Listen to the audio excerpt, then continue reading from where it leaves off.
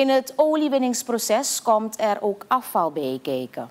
Afval verwijst naar ongewenste bijproducten, energieverspilling en milieuschade, die mogelijk kunnen optreden tijdens het winnen, verwerken en transporteren van ruwe olie. Dan nog stelt de staatsoliemaatschappij Suriname het belangrijk te vinden om de natuur van Suriname en haar bevolking zoveel als mogelijk te beschermen. De maatschappij voert verschillende projecten uit ter waarborging van de natuurrechten, zegt de directeur Upstream Rekha Bisumbar.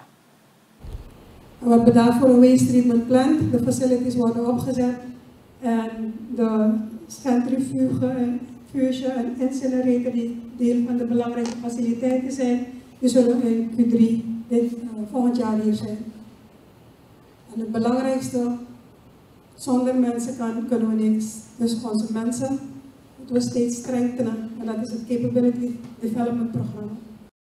In een praktijkvoorbeeld illustreerde Robin Mangnusing, de manager van Treatment and Delivery, doelgericht het zuiveringsproces van water.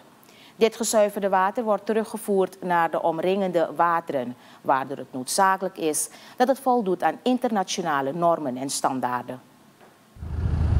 En het oliegedeelte die gaat dan naar de heaters. En die heaters die zie je daar, het zijn vier heaters. Er zijn hier vier flowsplitters en daarna zijn er vier heaters. Met een schoorsteentje erboven, zo herken je ze. En daar wordt die olie verwarmd om het scheidingsproces verder te bevorderen. Na die heaters gaat die olie naar de storage tanks.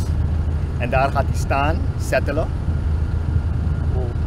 Een paar uren duurt dat, soms wel 12, soms langer.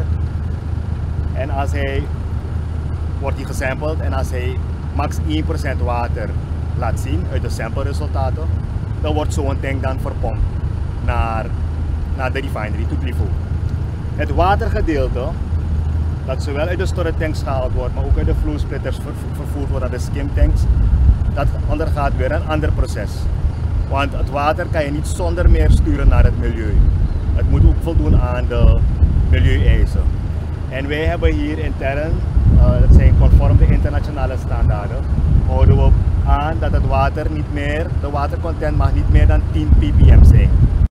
Het verminderen van afval in de oliewinning is een belangrijk aandachtspunt, zowel vanuit milieuoogpunt als vanuit een bedrijfsperspectief.